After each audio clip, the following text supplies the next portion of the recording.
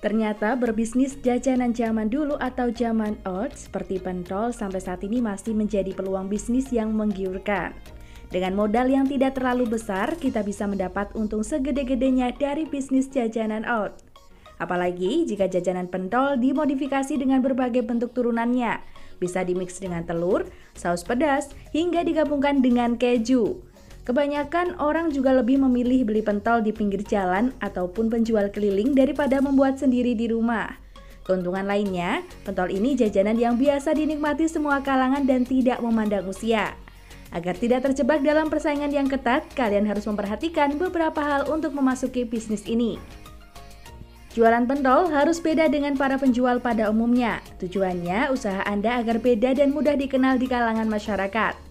Mungkin bisa cara menyajikan, kemasan, tempat, hingga cara jualan harus jeli agar mudah dikenal. Seperti Bu Endang ini misalnya, ia jualan jajan old dengan cara baru. Wanita asal Sadang Jatirogo Tuban tersebut sukses memodifikasi pentol jadi jajanan kekinian yang laris manis dan menguntungkan.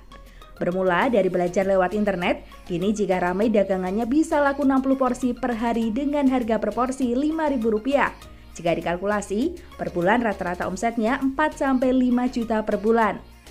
Selain jualan di pinggir jalan, ia juga memasarkan produknya melalui sosial media.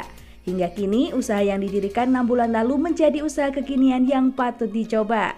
Dari Tuban, Tim Liputan Blog Tuban TV mengabarkan.